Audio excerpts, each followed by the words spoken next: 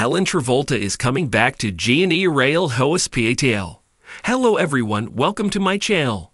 Before starting the video, please go ahead and hit the subscribe button and give this video a like. Up the whole family is going to be together for the big wedding.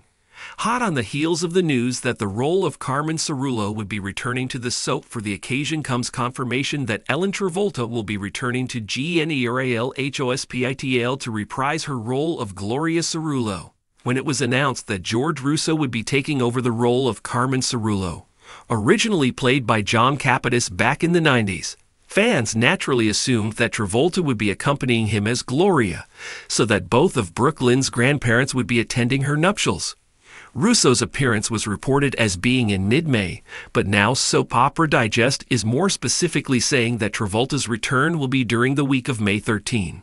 Older sister to John Travolta, the actress is probably best known for her roles on sitcoms like Happy Day Ways and Do You ELCOME Back Co TTER. She debuted as Gloria on GH back in the mid 90s and reprised her role for a handful of episodes around Thanksgiving 2023.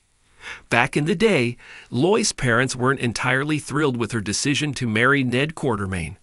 Gloria and Carmen eventually came around on Ned, although naturally weren't thrilled when it was later revealed that he was also married to Catherine Bell at the same time. So hopefully, both of Brook Lynn's grandparents approve of her tying the knot with Chase.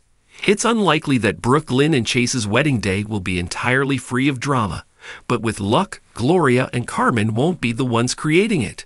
Love GH. Be sure to join our We Love General Hospital Facebook group to chat about all the latest storylines and juicy gossip. Thanks for watching this video. Please subscribe.